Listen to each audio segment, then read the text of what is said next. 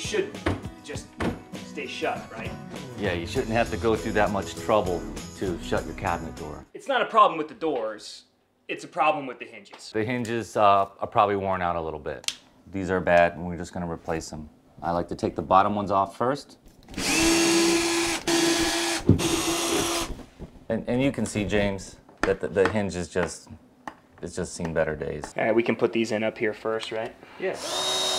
I'm gonna eyeball roughly the height of this and this should be the same.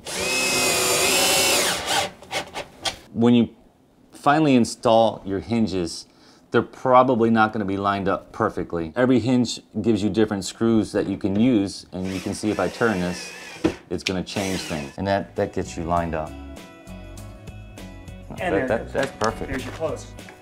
I think our job is done here.